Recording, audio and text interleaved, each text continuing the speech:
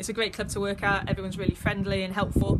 Um, obviously, Dan Robinson has now started as an academy manager, so working with him and Sam Rose with the 18s is fantastic. Um, and we're all putting in the right direction in terms of developing in the academy and hopefully bringing through some players for the first team.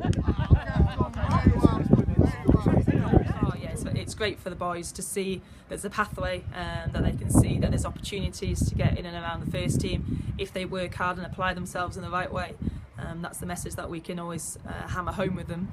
Um, that they have to work hard on and off the field, um, and if they do so, that those opportunities can come.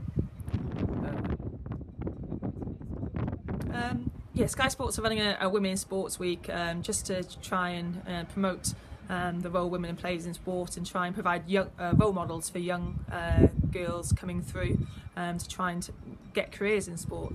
Um, so it's fantastic to be asked um, to you know to serve as a role model for hopefully women who want to go into coaching um, at an elite level.